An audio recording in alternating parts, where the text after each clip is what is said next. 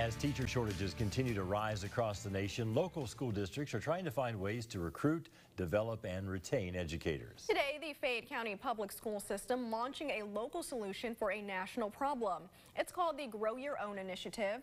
The goal is to retain educators who are already in the school district and empower future educators by creating a clear pathway to becoming a certified teacher through partnerships with schools like UK, EKU, and KSU. It will also provide scholarships. The initiative hoping to reach high school students, community members, and employees already with FCPS. These seniors are all people who you may see as our colleagues soon.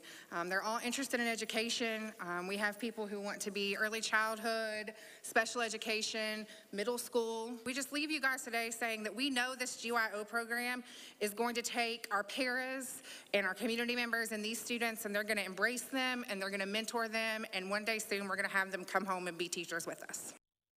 A kickoff celebration to begin networking will be held on Monday, November 7th at Frederick Douglass High School's cafeteria at 4.30 p.m.